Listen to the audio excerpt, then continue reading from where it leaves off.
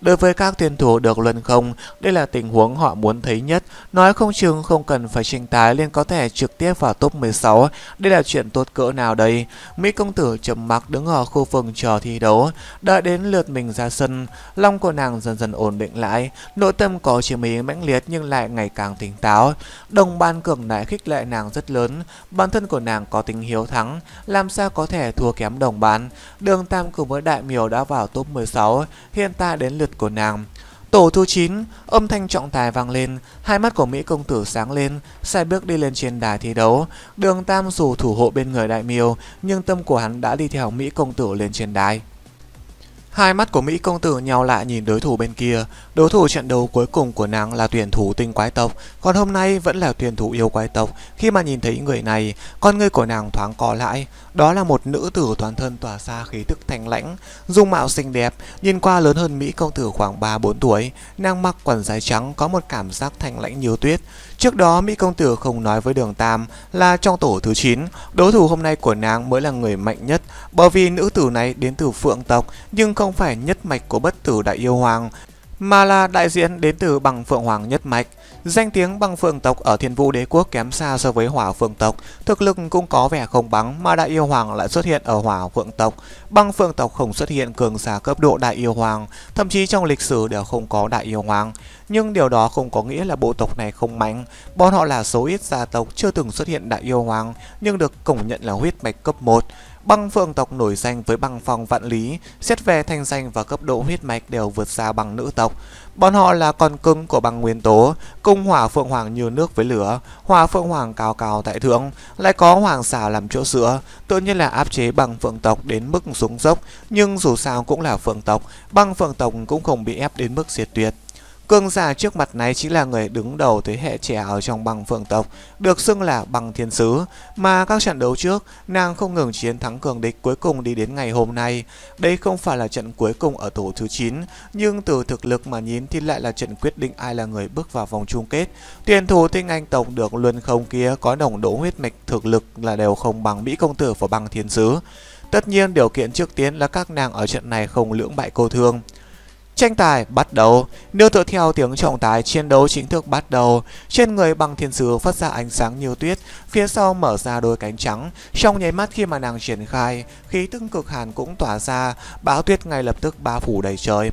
Băng thiên sứ hiển nhiên đã nghiên cứu qua Mỹ công tử, các trận trước Mỹ công tử cỡ hồ đều cường thế chiến thắng, mà ở hạng mục thi đấu hai người, nàng cùng với đường tam chiến thắng Long Phượng tổ hợp, quả thực là làm tất cả người xem chấn kinh. Khi biết rõ khổng tước yêu tộc am hiểu khống chế không gian, băng thiên sứ lên đá không giữ lại chút nào, trực tiếp vận dụng năng lực khống chế cường đại, không tiếc tiêu hao lực lượng lớn của bản thân cùng với muốn chiếm được tiên cơ. Trong bão tuyết, mỗi bông tuyết đều có lực lượng cường đại, dù Mỹ công tử muốn truyền tống đến địa phương nào cũng sẽ được báo tuyết tẩy lễ. Tay phải của Mỹ công tử cầm thiên cơ linh, ánh mắt bình tĩnh bừng từng bước một bước đi về phía đối phương. Xung quanh cơ thể của nàng có một vầng sáng bạc mờ ảo. Mỹ công tử đi về phía trước, mà khu vực bị báo tuyết bao phủ càng ngày càng lớn và nó đang quét về phía nàng. Tuy nhiên, một cảnh tượng kỳ lạ xuất hiện khi bão tuyết đi vào vầng sáng bạc xung quanh thân thể của Mỹ công tử thì yên lặng biến mất, giống như bị chuyển tống đến một địa phương khác, không để lại bất kỳ dấu vết nào. Mỹ công tử tiếp tục tiến lên, không có ý muốn dừng lại, khoảng cách giữa hai bên không ngừng rút ngắn, mà bão tuyết kia dù dữ dội đến đâu, chỉ cần tiến vào phạm vi ngân quáng lên im lặng biến mất.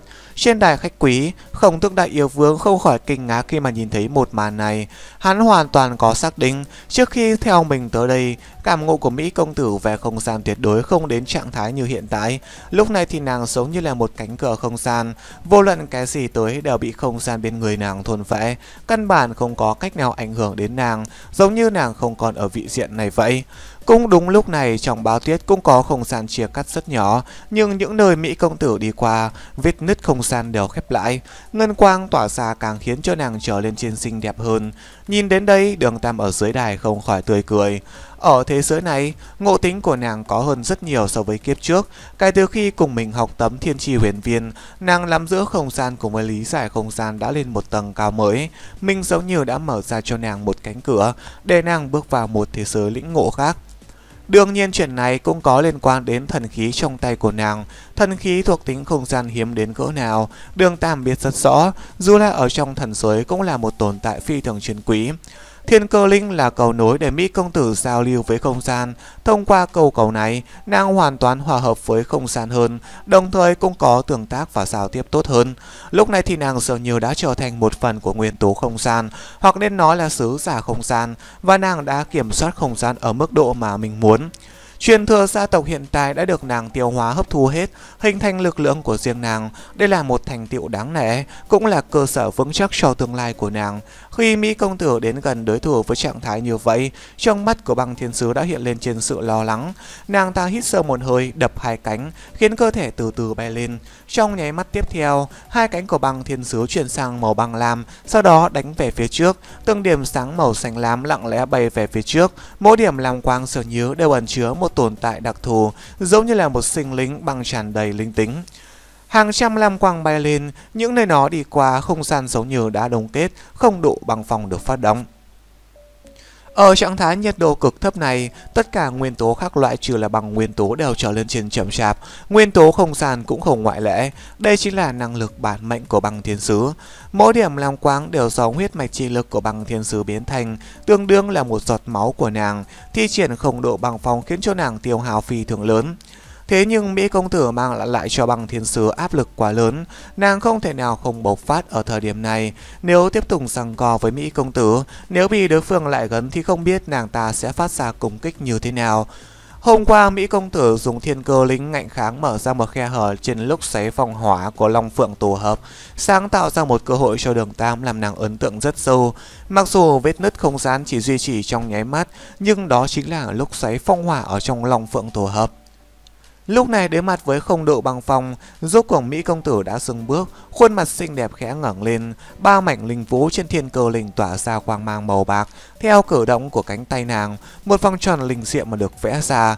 Đây là lần đầu tiên Mỹ công tử sử dụng thiên chi huyền viêm trong chiến đấu. Thậm chí trước trận đấu này, nàng đều không nghĩ tới sẽ sử dụng nó, nhưng không biết vì sao, nương tựa theo khí thế tích lũy được theo từng bước chân, khi mà đối mặt với công kích cực mạnh kia, nàng cơ hồ vô thức vẽ ra một cái vòng tròn. Vòng tròn xinh đẹp không có khuyết điểm, mọi thứ xung quanh dường như là cũng xoay tròn theo nó, khiến cho Mỹ công tử nhìn càng hư ảo, quang mang trên thiên cơ linh khẽ dao động, tất cả phần sáng màu bạc giống như đều cố gắng duy trì trong vòng tròn này. Trên quần áo của Mỹ công tử đã có thêm một lớp băng xương, một vòng tròn màu bạc hiện ra, dỡ như kết nối với một thế giới khác, lặng yên không một tiếng động xóa hết những điểm lam quang kia. Nó quá đột ngột giống như không khí bị quét sạch vậy, nhưng lại có một cảm giác hài hòa dị thường. Ánh mắt băng thiên sứ ngốc trệ, nàng cho tới bây giờ đều chưa gặp tình huống như vậy. Đây chính là năng lực bản mệnh của nàng, là một trong những năng lực cường đại nhất của nàng. Sao cứ như vậy lại bị xóa đi rồi? Khi dạng này năng lực, sư trưởng trong tộc đã nói, cho dù là không gian cũng bị đông cứng trong phạm vi khổng độ băng phong, nhưng một màn trước mắt là chuyện gì? Công kinh của đối phương có thể hóa giải không độ băng phong, vậy có nghĩa là ở phương diện khống chế nguyên tố, đối phương còn xếp trên mình, nhưng khổng tước yêu tộc đã sớm không còn đại yêu hoàng, nàng ta sao lại làm được? Những suy nghĩ này thoáng hiện qua trong đầu của bằng thiên sứ mà Mỹ công tử cũng đã tới phụ cận. Không độ băng phòng bộc phát chắc chắn sẽ làm báo tiết suy yếu. Bây giờ không độ băng phòng biến mất, phong ngưỡng cùng với năng lực khống chế của bằng thiên sứ hạ xuống mức thấp nhất. Ngay lúc này, thiên cơ linh trong tay của Mỹ công tử phát ra từng tầng gợn sóng màu bạc, lặng yên thuần phệ không gian xung quanh. Khoảng khắc này trông nàng như là một tiên tử màu bạc, lập tức tiêu trừ báo tuyết. Một tầng ánh sáng màu lam đột nhiên sáng lên trên xung quanh cơ thể của băng thiên sứ, sau đó hóa thành một cố băng quang trong suốt bảo vệ nàng ta ở bên trong. Tuy nhiên, tất cả những điều này dường như vô ích, từng lớp ánh sáng bạc rơi xuống người của nàng ta đã biến thành một quang kén màu bạc. Mỹ công tử càng thêm hiểu rõ, trong đầu hiện lên trên lời của đường Tam nói, nàng chính là sứ giả thủ hộ không gian, không phải là kẻ phá hoại. Lúc này không gian không có vết sách, chỉ có trồng chất cùng với nếp gấp. Những biến hóa này biến thành không gian trói buộc mạnh nhất khiến cho băng thiên sứ không thể nào động đậy. Dù lực lượng không gian này không thể phá bỏ băng quang là năng lực phòng ngự mạnh nhất của băng thiên sứ, nhưng nàng ta đã triệt để mất đi quyền chủ động trên chiến trường. Trong chiếc mắt tiếp theo, ngân quang lấp lóe, băng thiên sứ đã hư không thiếu thất, khi nàng ta xuất hiện thì đã ở dưới đài thi đấu. Tranh tài kết thúc, không thể nghi ngờ, trận đấu này là trận không khói lửa nhất trong ngày hôm nay. Tốc độ chiến đấu cũng không nhanh, nhưng toàn bộ quá trình đều làm người xem kinh ngạc. Thậm chí rất nhiều người không biết rõ ràng có chuyện gì xảy ra. Tranh tài đã kết thúc rồi. Phương tộc không chỉ có bằng phương tộc, còn có các cường giả phương tộc khác đều sững sờ khi mà nhìn thấy cảnh tượng này. Bọn họ vốn nghĩ đây chẳng là một trận chiến khốc liệt, lại không ngờ nó kết thúc dễ dàng như vậy. Trong các tuyển thủ đại diện cho phương tộc, băng thiên sứ không phải người mạnh nhất, nhưng nàng là thuộc phương tộc.